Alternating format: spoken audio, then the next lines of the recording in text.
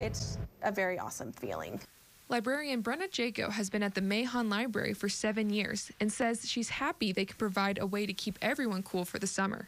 Beat the Heat centers are centers provided by Reliant Energy that provide box fans, free water, a cool place to relax, Wi Fi, and charging stations in the Lubbock community.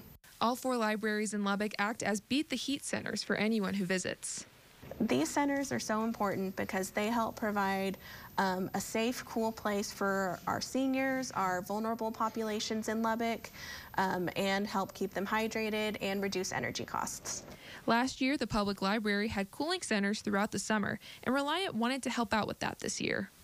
So they reached out and added us to their Beat the Heat centers that are happening all across the state of Texas.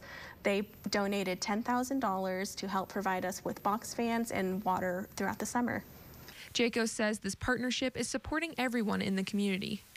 Our goal is to serve the Lubbock community no matter what walk of life you're in.